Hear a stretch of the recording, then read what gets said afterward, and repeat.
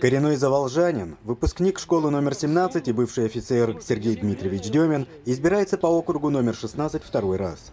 В 2010 году, почти сразу после избрания, он был назначен главой администрации города Заволжье, где проработал до декабря 2011 года. Получив в ходе нынешней избирательной кампании наказы от избирателей, депутат Демин не стал откладывать решение актуальных для жителей проблем в долгий ящик. Жители дома номер 48 по улице Пушкина попросили своего депутата обратить внимание городских властей на состояние дорожного покрытия у их дома. На территории округа проблем ну, очень много. Одна из наиболее таких серьезных – это вот дорога вдоль 48-го дома. Когда, значит, были выборы, еще тогда Э, мне как кандидату в депутаты и остальным кандидатам из команды Заволжья от людей были сделаны э, наказы. Один из наказов, мой адрес, это как раз э, был ремонт дороги вдоль 48-го дома по улице Пушкина. Сейчас, значит, с этим вопросом Этим вопросом я занимаюсь. Жители этих домов и моего округа помогают. Уже собрано порядка более 130 подписей, подготовлены все необходимые документы. Э, одно обращение направлено на главу местного самоуправления Пенского Александра Константиновича по поводу ремонта дороги. И также с моей стороны депутатское обращение на исполняющего обязанности главы администрации. Надеемся, в ближайшее время от администрации последует какой-то ответ. Да? Э, то есть, э, что будут делать, если на это средства, если нет, то когда появятся эти деньги.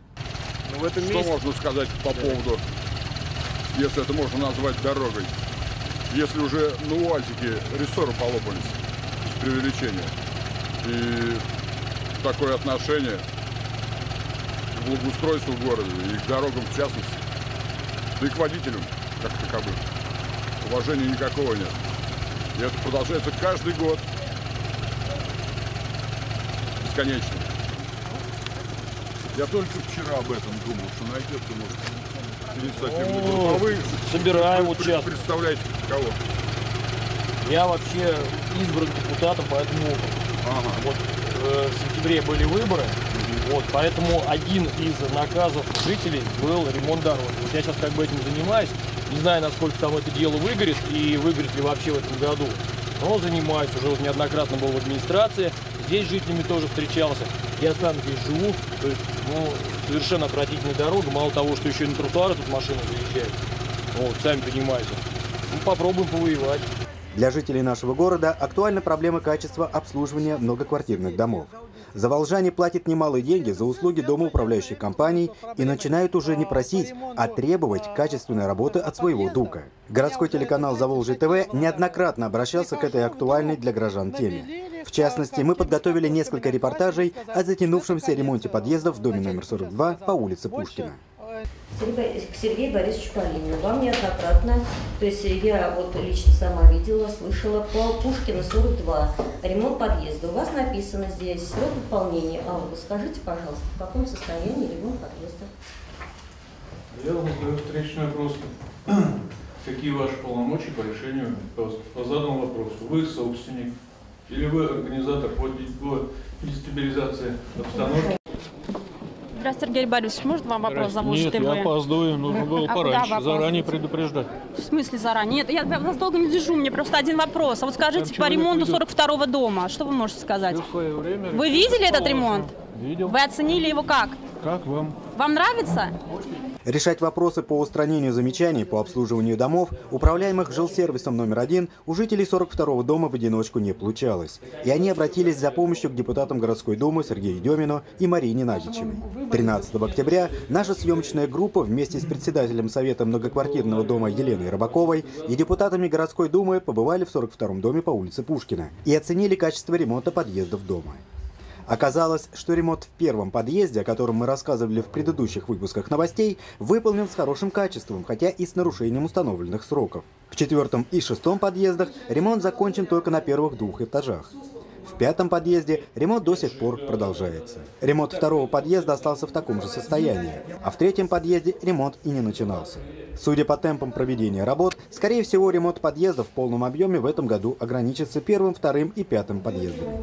В ходе встречи с директором управляющей компании «Жилсервис-1» Сергеем Калининым депутатам Демину и Нагичевой удалось достичь договоренностей в решении нескольких наболевших вопросов.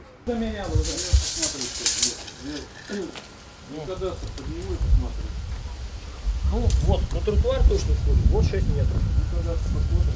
Ну, я ж не думаю, Я говорю, это мои рябины. Вы зацепили. ну еще 10 сантиметров, пусть вот здесь вот. Сергей. То есть вы согласны, что тротуар нужно э, вашему дворнику?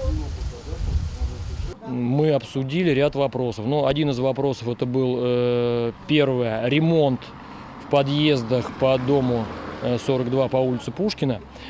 Э, Во-первых, не, произво- не производилась уборка, то есть э, ремонт делали, уборки нету, людям приходилось, значит, соответственно, в обуви в грязной там после ремонта заходить в квартиру. Все это, конечно, доставляло неудобства. Ну, Сергей Борисович пообещал, как только полностью завершим ремонт, обязательно сделает там хорошую уборку. Надеемся, что это будет. Один, еще один из вопросов – это уборка территории вокруг дома. Специально выходили по этому вопросу, брали рулетку.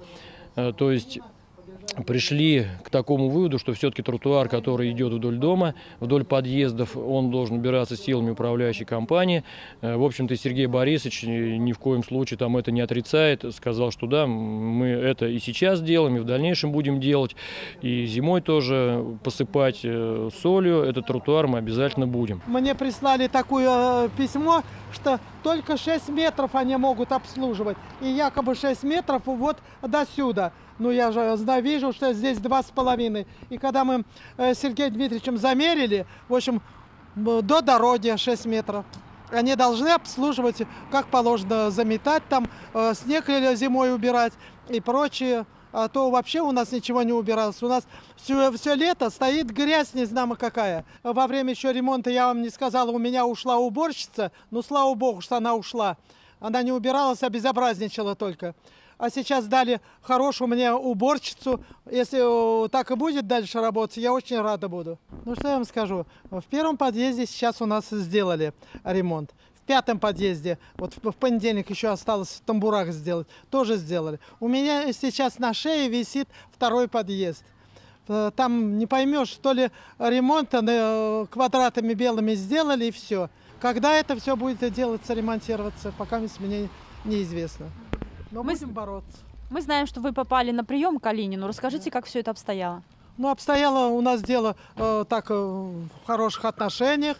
Э, Сергей Борисович поговорил с нами э, в хороших, все по-хорошему. Пообещал вот у меня мусор-провод у- убрать, потому что э, тоже запахи, крысы, э, тараканы водятся.